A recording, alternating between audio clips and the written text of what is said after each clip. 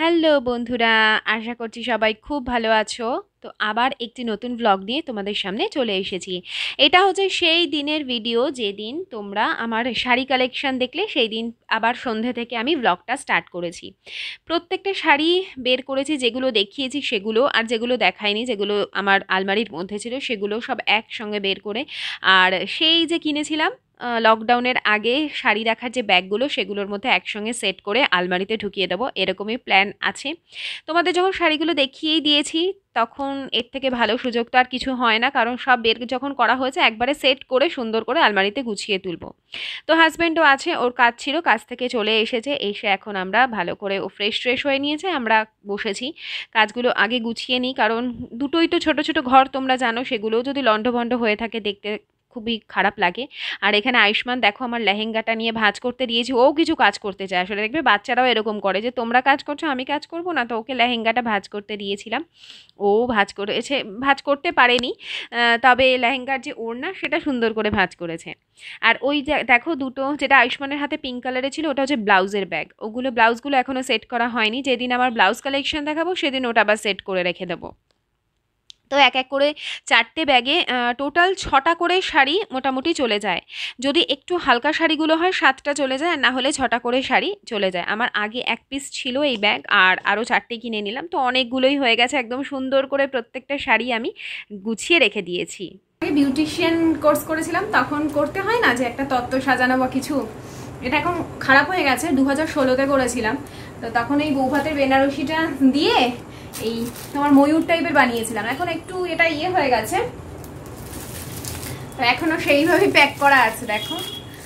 ওই শোকেসটা ফাঁকা করে দিয়েছি দিয়ে সব এখন শাড়িগুলো এই দেখো ব্যাগ ভরে যাচ্ছে চারটে ব্যাগ টোটাল অ্যাট লাস্ট কাজটা কমপ্লিট হচ্ছে আর কি। তোমাদের শাড়িটাও ভিডিও দেখানো হয়ে গেল আর কাজটাও কমপ্লিট হয়ে যাচ্ছে। ছুন্নর বাচ্চানো ছাড়িয়েছি পড়েছি। ছুন্নর বাচ্চানো আমার। আমার ছুন্নর বাচ্চানো না কাঠের বাড়ির বউ গো তুমি? কাঠের বাড়ির বউ? আমার ছোনা বাচ্চা। আর দেখো, ওখানে ব্যাগগুলো সব সুন্দর করে রেখেছি। আর ওপরে যে ব্যাগটা দেখছ, ওটা হচ্ছে লেহেঙ্গার ব্যাগ। এখন এই সমস্ত ব্যাগগুলো আমি আলমারিতে রাখতে যাব। তার আগে বিছানাটা একটু ঠিক করে দিচ্ছি। আর ওরাও এখন ক্লান্ত হয়ে পড়েছে। আর এই দেখো, আমার আলমারি, এই একটা আলমারিতে আমাদের টোটাল তিনজনের বাইরের জামা কাপড় থাকে। হ্যাঁ ম্যাক্সিমাম জামা কাপড়ই আমার। কারণ আমার কুর্তি অজস্র আছে, শাড়ি তো যা আছে তোমাদের দেখালাম প্লাস আরও বেশ কিছু শাড়ি আছে। তো বুঝতেই পারছ, আমার আলমারিতে একেবারেই রাখার জায়গা নেই। আর গুছিয়ে রাখা আলমারিটা, গুছিয়ে রাখা আমার কাছে ভীষণ টাফ কারণ রেগুলার জিনিস বার করতে গেলে, আবার রেগুলার সেইভাবে রাখতে গেলে, আর এমনি আলমারি খোলা যায় না, খুব ডিফিকাল্ট ওই জন্য এই ভয় ভয় আমি আলমারিটা গোছাতে পর্যন্ত পারছি না যে আমি কোথায় কি রাখব। আমি প্রচুর জামা কাপড় কুর্তি দিয়ে দিই, তারপরেও দেখো একটা দুটো কেনা হয়। আমরা তো কিনতেই থাকি না। সেই জন্য আমার মানে আলমারিটার অবস্থা শোচনীয়। কিন্তু ওটাও গোছাতে হবে, যখন গোছাবো তোমরা বলেছ শেয়ার করতে অবশ্যই কিন্তু আমি শেয়ার করব। আর এই দেখো, আমরা এখানে সবাই আনন্দ করছি, গল্প করছি, গল্প করতে করতে সন্ধেটা কাটছে। যেহেতু শরীরটা ভালো আছে এখন, কাজেও এনার্জি আগের মতন ফিরে এসেছে, কোনো অসুবিধা নেই, একদম। তোমরা আমাকে অনেকে কমেন্ট করছ, দিদি, তুমি কাজের কি করে এত এনার্জি পাও? কি জানি আমি কি করে এনার্জি পাই? অ্যাকচুয়ালি আমি যখন খুশি থাকি, আমি প্রচুর কাজ করতে পারি। আমি কখনো এই বিষয়ে একটা ভিডিও শেয়ার আর এখানে দেখো আমার দুটো পার্সেল আজকে এসছে ফ্লিপকার্ট থেকে। মেভেলিন কলাসাল কাজল যেটা সেটা এসছে। ওয়ান সেভেন্টি ফাইভে আমি দুটো কাজল পেয়েছি। অ্যাকচুয়ালি এগুলোর প্রিন্ট প্রাইস আছে ওয়ান এইট্টি করে। সেখানে আমি দুটো পেয়েছি ওয়ান সেভেন্টি ফাইভে তো এটা অফারে পেয়েছিলাম। তো নিয়ে নিয়েছি। আর এখানে একটা ওয়াল স্টিকার এসছে। আমার যে বেডরুমে যে স্টিকারটা লাগানো আছে, কারণ ওখানে একটু রং টং মানে চটে গেছে, তারপর আয়ুষ্মান যখন ছোটো ছোটো পেন্সিল দিয়ে কালার দিয়ে লিখেছে, তো সেটাকে কভার করবার জন্য আমি এই স্টিকারগুলো লাগিয়েছিলাম। তো একটা স্টিকার অর্ডার করেছি। বেশ সুন্দর। হুম তোমরা বলো তোমাদের কেমন লাগছে? আমার তো খুব ভালোই লাগল, বেশ অন্যরকম। তো সেটা আমরা একটু বাদে সেটাকে লাগাবো দেওয়ালে। তো দেখবে তখন কেমন লাগে। একটু আর কি নিজের সাধ্য অনুযায়ী নিজের ঘরটাকে একটু ডেকোরেট করতে ভালো লাগে। তাতে নিজের মন ভালো থাকে, কাজে এনার্জি পাই এই আর আরও অনেক কিছু অর্ডার দিয়েছি কিন্তু সবটা একসঙ্গে আসে না। কাজল দুটো খুব ভালো অফারে পেয়েছি বলে নিয়ে নিলাম। বলো, ভালো না অফারটা এক একটা তো ওয়ান এইট্টি করে ইচ সেখানে আমি ওয়ান সেভেন্টি এইটে দুটো পেয়ে গেলাম। তো ভালো অফারটা ছিল, নিয়ে নিয়েছি কলাসল কাজল আর এখন একটু চিড়ে ভাজবো। চিড়ে ভাজা খাব আর লিকার চা খাব। তো এই হচ্ছে এখন এটাই এনজয় করব। এখন যদিও সন্ধ্যে সাড়ে সাতটা বেজে গেছে ঠিক আছে? আর এখন আয়ুষ্মান ওর জলের বোতলে জল ভরবে বলে আগে ওর ধোয়া চাই।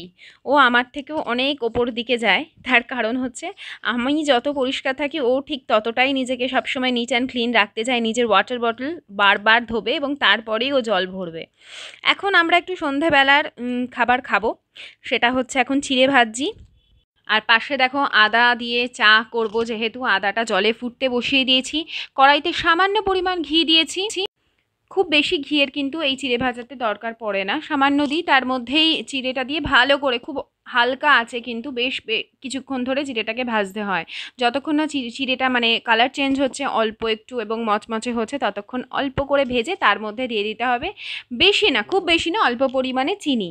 চিনিটা দিয়ে দেওয়ার সাথে সাথেই কিন্তু একটু ভালো করে ভাজতে হবে যাতে চিনিটা কোনো কারণে কালো হয়ে না যায়। আর এটা খেতে এত টেস্টি হয় যারা জানো তারা তো নিশ্চয়ই জানো কিন্তু যারা জানো না এই সন্ধ্যাবেলা যে একটা হালকা ফুলকা একটা খিদে পায় চায়ের সঙ্গে কিন্তু দারুণ লাগে। তো খেয়ে দেখতে পারো খুব ভালো লাগে খুব বেশি চিনি দেওয়ার দরকার পড়ে না কিন্তু একটা মিষ্টি মিষ্টি একটা টেস্ট আসে। তো এখন আমরা আমাদের এই চা আর চিড়ে ভাজা এনজয় করছি। তারপর তো ডিনার বানাতে হবে সেই রেসিপিও তোমাদের সঙ্গে শেয়ার করব। দেখা। বাহ। ও মা কি সুন্দর দেখো এটা লিখেছে আয়ুষ্মান। লিখেছি F M I L Y family father and mother I love you মা ফ্যামিলি দিয়ে কি সুন্দর লিখেছে আমার সোনাইটা। এখানে কত সুন্দর ডিজাইনও দিয়েছি। হ্যাঁ দেখো দাঁড়া ফোকাস করছে না। হ্যাঁ ও এই দেখো। মা দারুণ তো। আর এখানটা লাভ ওলি বাবা এখানে ফ্লাওয়ার আমার সোনাই কত সুন্দর ড্রয়িং করে। তো এখন অনেক রাত হয়ে গেছে আর মুখ টুক ভালো করে যে মেকআপ টেকআপ করেছিলাম সেগুলো তুলে ফেলেছি মেকআপ আর বৃষ্টি পড়ছে নাকি? দেখেছ বৃষ্টি পড়ছে। মেকআপ ফেকআপ তুলে ফেলেছি। আর চোখের কাজল টাজলগুলো প্লিজ ইগনোর করো। আমাকে তোমরা সবাই বলো যে দিদি সেজে গুজে থাকবে। ঘরে না, সবসময় সেজে গুজে আমরা থাকতে পারি না। এক তো ঘরের এত কাজ, ঘেমে এনে একাকার হয়ে যাব। তো ওই জন্য এত সাজতে গুজতে আর ইচ্ছা করে না, সত্যি কথা বলতে কি তবে হ্যাঁ আমি একটা কথা বলছি। আমরা মেয়েরা এত কাজকর্ম করি তো, তার উপর নাইটি পরে থাকি। আমাদেরকে অনেকটাই কিন্তু যা এজ তার থেকে বেশি লাগে বা হয়তো ভালো লাগে না দেখতে, কিন্তু আমি চাই সব সময় যাতে তোমরা আমার আম- আম- আমার সাথে যাতে তোমরা রিলেট করতে পারো। আমি সেজে গুজে থাকলে তো দেখো সেটাকে কি তোমাদের অরিজিনাল বলে মনে হবে বলো? আমার তো মনে হয় না আমার তো তাকে অরিজিনাল বলে মনে হবে না। মানে যেই সবসময় সেজে গুজে ঘরের কাজ করছে, আমার সত্যি বলছি মনে হবে পুরো জিনিসটা স্ক্রিপ্টেড আমার তাই মনে হবে। তো ওই জন্য আমি সবসময় যেটা যেখানে সেরমভাবে থাকার চেষ্টা করি। যখন আমি পড়াতে যাই, তোমরা দেখেও আমি যখন ক্লাস নিতে বসে আমি লিপস্টিক যদি তোমাদের সঙ্গে তো ব্লক করছি লিপস্টিক পরেছি, পড়ানোর সময় গিয়ে আমি লিপস্টিকটা তুলে ফেলি। যখন যেখানে যেটা, সেখানে সেটা মানায় ভালো। তো সেইটা আমি খুব মানে ফলো করার চেষ্টা করি। আর তবে চেষ্টা করব নাইটিটা মানে যতটা সম্ভব কম পরে ঘরে আর কি যেরকম আমাকে অনেকেই বলছে পালাজো পরতে পারো বা কেপরি পরতে পারো। অ্যাকচুয়ালি কেপরি বা ছোটো টপ আমি পরবো না, কারণ আমার অভ্যেস নেই বাড়ি কারণ থেকে বৃষ্টি পড়ছে, কীভাবে ঘরে ফিরবে কে জানে? আমি তোমাদের সঙ্গে আজকে তরকার রেসিপিটা শেয়ার করব। তো চলো তরকাটা বানিয়ে ফেলি। তো আজকের আহ, সকাল থেকে আমি মোটামুটি কি রান্না হবে সারাদিনের একটা প্ল্যান করে রাখার চেষ্টা করি তাতে সুবিধা হয়। তো আমার ডিনারে কি হবে সেরকম কিছু প্ল্যান ছিল না যে কি বানাবো। তো যাই হোক তরকা ছিল তরকার ডাল ঘরে তরকার ডালটা সেদ্ধ করে নিলাম প্রেশারে অনেক সময় তরকার ডাল সেদ্ধ হতে একটু টাইম নেয় কিছু কিছু ডালের ক্ষেত্রে দেখেছি। তো সেক্ষেত্রে অনেকে খাবার সোডা মিশিয়ে নেয় কিন্তু আমি খাবার সোডাটা যতটা সম্ভব খাবারে অ্যাড করতে কম পছন্দ করি। তাতে যদি রান্না করার পর আমাকে আরও দুটো তিনটে সিটি দিয়ে নিতে হয় তাতে কোনো অসুবিধা নেই। যতটা সম্ভব এই সোডা জাতীয় খাবারগুলো যাতে কম খাওয়া যায়। এরপরে আমি সমস্ত কিছু যা যা গুছিয়ে রাখার সেগুলো গুছিয়ে নিচ্ছি। এখানে পেঁয়াজ গুছিয়ে নেব। আর তিনজনের জন্য রাত্রিবেলা তরকা তো অল্পই, খুব বেশি পরিমাণে আমার বানাতে হয় না। তো এখানে পেঁয়াজ কুচিয়ে নেব, তাই জন্য চপারটা বার করলাম না। তোমরা অনেকে আমাকে কমেন্ট করেছ যে আমি কীভাবে দাঁড়িয়ে বটিতে সবজি কাটি। আসলে এটা না ঠিক অভ্যেস হয়ে গেছে অনেকটা, অভ্যেস বলতে পারো। আর এখানে দেখো আমার সবজি যা যা দরকার ছিল ফ্রিজে তো আমি ধুয়ে প্যাকেট প্যাকেট করে সমস্ত সবজি আলাদা করে রাখি। তো এরপরে আমি চলে এসেছি, আমার যে প্রেশার প্যানটা যেখানে আমি প্রেশার কুকারে যেটাতে তরকাটা সেদ্ধ করেছি, সেই প্যানের মধ্যেই নিয়ে নিয়েছি বেশ কিছুটা সর্ষের তেল। সর্ষের তেলের মধ্যে দিয়ে দিলাম কুচিয়ে রাখা পেঁয়াজ। খুব বেশি কিচ্ছু ঝামেলা করার দরকার নেই, যত তাড়াতাড়ি সম্ভব রাতের ডিনার তৈরি করা যায়, সেই রকমভাবেই আমি রান্না দেখাই তোমাদের। তারপরে দিয়ে দিলাম টমেটো। টমেটোটা হালকা একটু গলে গেলে তার মধ্যে দিয়ে দিয়েছি আদা বাটা, রসুন বাটা।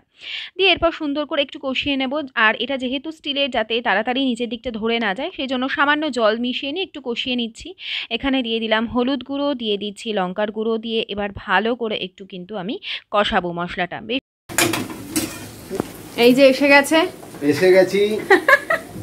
ডিম ফাটিয়ে এবার দেব এতে তরকারি। আরে বাবা রে। এতেই। তরকার টেস্ট বেড়ে যাবে। ঠিক বলেছে। এই যে ডিমটা ফাটিয়ে দেবে এতেই দেখবে তরকার টেস্ট যত ডিম ফাটানো যাবে না। ফাটানো যাবে হ্যাঁ। মানে তত মানে ডিমটা ফুলবে। হ্যাঁ এটা তো ঠিক কথা। ডিম যত ফ্যাটাবে সেটা শুধু ডিম মানে কি? সেটা শুধু ডিম ভাজার ক্ষেত্রে নয়। আমরা যখন কেক করি কেকটাকেই তো ডিমটাকে বিট করতে হবে বেশি। ফোম যত হবে কেক তত ফুলবে। এটাই ও বলতে চাইছে। আর এইমাত্র বাইরে বেরিয়েছিলাম। বলেছি আমি। জিনিস আনতে। ভিজে গেছি একদম তারপর ড্রেস ট্রেস চেঞ্জ করলাম চেঞ্জ করে আসলাম। মাথাটা মুছেছ? হ্যাঁ মাথা মুছেছি ঠিক আছে। বাইরে মানে কি? সামনে দোকানে গেছিল গিয়েই আর বৃষ্টি নেমে গেছে। তো যাই হোক এখনও ডিমটা খালি দেবো। দিয়ে তোমাদের সাথে রেসিপিটা শেয়ার করছি। আবার স্যারকে না দেখালে আবার স্যার রেগে যাবেন। আচ্ছা স্যার দিচ্ছেন ডিমটা দেখ। আরে মাস্টার শেফ হাতের ডিম ভাজা। এরপরে খুব ভালো করে ডিমটাকে ভেজে নিয়েছি মশলার মধ্যেই। তো আলাদা করে আর ডিম ভাজবার দরকার নেই, বা চাইলে আগের থেকেও ডিমটা ভেজে রাখা যায়। এখানে ডিমটা আমি একসঙ্গে ভেজে নিয়ে তারপরে সেদ্ধ করা তরকার ডালটা দিয়ে দিয়েছি। দিয়ে এবার ভালো করে একটু কষিয়ে নেব। আর এই যে নিচের দিকে তোমরা দেখছ এটা একটু ধরে যাচ্ছে, সেটা ধরে না, যেহেতু স্টিলের একটু চিপকে যায়, কিন্তু এই প্রেশার কুকারে আমার আজ পর্যন্ত কোনো জিনিস একটুও পুড়ে যায়নি। এখন দেখো এর মধ্যে আমার যতটা দরকার পরিমাণ মতন আমি জল মিশিয়ে নিয়েছি। মেশানোর পর এখানে দিয়ে দিলাম আমি তড়কা মশলা। সানরাইজের তড়কা মশলা দিয়ে দেওয়ার পর এটা একটুখানি ভালো করে আমি মশলাটা যাতে খুব ভালো করে ডালের মধ্যে প্রবেশ করে, সেই জন্য একটু আগে থেকেই মশলাটা দিয়ে দিতে হবে। আর এখানে দেখো আমি তো কাসাউরি মেথি কিনে রাখি, এমনি নর্মাল মুদিখানার দোকানে মানে একটু বড় স্টেশনারি যে দোকান, সেখানে কিন্তু লুজ কাসাউরি মেথি কিনতে পাওয়া যায়। দশ টাকায় অনেকটা কাসাউরি মেথি হয়, আমাদের এখানেই পাওয়া যায়। তো সেটাকে আমি কিনে রেখে দিই, তারপর একটু ড্রাই রোস্ট করে, সামান্য পরিমাণ ড্রাই রোস্ট করে তরকার মধ্যে দিয়ে দিলাম। এতে কিন্তু তরকারির যে একটা পাঞ্জাবি ফ্লেভার সেটা খুব সুন্দর চলে আসে। কারণ তরকা তো সাধারণত আমরা যতদূর জানি যে এটা একটা পাঞ্জাবি ডিশ তো খেতে খুব ভালো হয়। একটু বড় ওই প্যাকেটগুলো কেনার থেকে আমাদের, আমার মনে হয় এরকম লুজ কিনে নেওয়া খুবই ভালো। এরপরে আমার রান্না ডিনার তো বানানো হয়ে গেছে। এখন রাত্রিবেলা যে ঘরটর ঝাড় দিয়ে আমি পরিষ্কার করে রাখি, বিছানা ওই ঘরের আমি একদম ক্লিন করে এসেছি। এখন এই ময়লাগুলো তুলে নিচ্ছি ঘরের। আর এখন যেহেতু বর্ষাকাল, ঘরে আমার প্রচুর জামা কাপড় মেলা থাকবে। তোমরা হয়তো দেখতে পাবে, বাইরেও যে দড়িটা আছে একটা, সেখানেও আমার বেশ কিছু মেলা থাকে। আর ঘরে ছোট ছোট যেগুলো আয়ুষ্মানের থাকে, সেগুলো ওই ছোট ঘরটায় আর কি মেলে দিই। তো ওগুলো প্লিজ তোমরা কিছু মাইন্ড করো না। মিলে স্টিকার লাগাবো। ওয়াল স্টিকার ওই দেখো দেওয়াল পুরো পরিষ্কার ফাঁকা করে দিয়েছি। কিন্তু জানো তো, রঙগুলো একটু একটু উঠে ভিতরে যে চুনটা সেটা বেরিয়ে এসছে। অল্প অল্প, সামান্য। এমনিতেও উঠে যাচ্ছিল ওইটা। তো সেই জন্যই ওটাকে গার্ড করবার জন্য আমার এই স্টিকারটা লাগানো মেন স্টিকার লাগিয়েছিলাম। আর তোমরা আমাকে বলেছ যে চশমা সবসময় পরে থাকতে আমার চশমার জন্যই মনে হচ্ছে মাথাটা ব্যথা হচ্ছিল কারণ আমি যখন আজকে শাড়ির ভিডিও করছি মানে আমার স্ট্যান্ড এখানে, এইখানে রাখা স্ট্যান্ড আর ওইদিকে আমি খাটে বসে আছি, আমি নিজের ফেস দেখতে পাচ্ছি না চশমা ছাড়া। মানে এতটাই আমার চোখের অবস্থা মনে হচ্ছে খারাপ হয়ে গেছে, কিন্তু এমন সিচুয়েশন আমি তো যেখানে আয়ুষ্মানের চোখ দেখাতে গেছিলাম ওখানেই দেখাবো, কারণ ওটাই হচ্ছে বেস্ট কিন্তু এখন তো এমন সিচুয়েশন যেতেই পারব না সেখানে, কারণ এখন পুরো লক সব কিছু তো যাওয়া যাবে না বুঝতে পারছি না কি করব কারণ চোখের জন্যই মাথা ব্যথা হয়েছে আমার যাই হোক এখন ঠিক আছি মাথা ব্যথা কমে গেছে আর আমি তো হোমিওপ্যাথি ওষুধ খাই হোমিওপ্যাথি ওষুধ খেয়েই সুস্থ আছি ঠিক হয়ে গেছি সত্যি ওষুধ খেয়েছি পরের দিনই আমার ঠিক হয়ে গেছে ব্যথা সকালের দিকেও আজকে সকালেও যখন ঘুম থেকে উঠেছি তখন সেই ওঠার সাথে সাথে যে ব্যথা ভাবটা ছিল গত তিন দিন ধরে মানে মাথা পুরো চাপ হয়েছিল সেইটা ছিল না কিন্তু ওঠার কিছুক্ষণ পরে আবার টিপ টিপ টিপ টিপ টিপ টিপ টিপ টিপ করছিল তো যাই হোক তারপর আস্তে আস্তে সময়ের সাথে সাথে ঠিক হয়ে গেছে আবার এনার্জি চলে এসছে। আমার এনার্জিও ছিল না মনে হচ্ছে না ভিতরে ভিতরে মনে হচ্ছিল আমার জ্বর আসছে এরকম একটা মনে হচ্ছিল যদি অতক্ষণ মাথা ব্যথা করে ন্যাচারালি মনেই হবে যে জ্বর আসছে। তো সেরকম কিছু হয়নি। এনার্জিও একদম কাজের ছিল না এখন আবার ঠিকঠাক হয়ে গেছে। হ্যাঁ। তো চলো এখন স্টিকারটা লাগাই দেখতে থাকো। ঠিক আছে? ও- আমার এক সাবস্ক্রাইবার আমাকে মেসেজ করেছে, জানো তো? যে ও, ওর আলমারি, ওর আলমারিটা আরও সুন্দর, ওর তিনটে পাল্লা। আলমারিটায়। ওরকম ওয়াল স্টিকার লাগিয়েছে যেরকম আমার সেম লাগিয়েছে। কি সুন্দর লাগছে। তোমরা না আমার পেজে আমাকে এই ধরনের যেগুলো তোমরা আমার দেখে পড়েছো ধরো রান্না হোক বা কিছু তোমরা কিন্তু আমাকে যদি পাঠাও আমি সেই ছবিগুলো কিন্তু আমার যে পেজে সেটা শেয়ার করব তাহলে যে কে আমার রান্নার রেসিপি দেখে করলে বা কিছু সেই হিসাবে আমি বলব। হ্যাঁ দাও। আমি সেই হিসেবে বলব তাদের নাম নিয়ে আর ছবিও তোমাদের আমার পেজে পোস্ট করব, ঠিক আছে? বা যদি পারি কমিউনিটিতেও কখনো একদম মানে একটা কোলাজ করে করে পোস্ট করব। তো তোমরা সেগুলো করো, আমার ভালোও লাগবে আর তোমাদেরও তাহলে ভালো লাগবে শেয়ার করো। এখন আমরা এটা করি ওয়াল স্টিকারটা দেখতে থাকো। আমার যখন মাথা ব্যথা হলো, তোমরা কত মানুষে আমাকে কত কিছু সাজেশন দিয়েছ, কি করলে আমার এটা কমতে পারে, কিসের জন্য আমার হচ্ছে? তোমরা অনেকে যা যা মোটামুটি বলেছ, সবারই সব কথাই আর কি মিলে গেছে যে কেন আমার মাথা ব্যথা হচ্ছে? তো তোমাদের সত্যি বলছি, এত কাছের বন্ধু বান্ধব হয়ে গেছো না, তোমরা আমি বলে বোঝাতে পারব না। আর আমিও তোমাদের সঙ্গে আমার বেশ কিছু টিপস শেয়ার করব, কীভাবে আমার কাজের এনার্জি থাকে, কীভাবে আমি হাসি খুশিভাবে আমার ঘরের কাজকর্ম করতে পারি, সবার সঙ্গে সুন্দরভাবে সময় কাটাতে পারি। তো সেই বিষয়ে আমি একটা ব্লগ করব অবশ্যই। আর এই দেখো আমার কীরকম একটা দেওয়ালটা ছিল না, এখন বেশ ছিমছাম অথচ সুন্দর লাগছে। আর চেষ্টা করেছি ওই দাগগুলো যতটা সম্ভব গার্ড করার, ততটাই করেছি। অনেক কিছু ওখানে লেখালেখি ছিল যেগুলো ফুল দিয়ে সাজিয়ে দেওয়ার চেষ্টা করেছি। তো কেমন লাগল বলো? যদিও লাইটটা একদম ডাইরেক্ট নিচে পড়ছে বলে আমি খুব একটা দেখাতে পারছি না। আর তোমরা অনেকেই বলবে দেওয়ালে কালার করো, আমি আগেও বলেছি। আমার এখন জিনিসপত্র এখানে সরিয়ে কালার করতে গেলে আমাকে অন্য জায়গায় শিফট করতে হবে তারপর।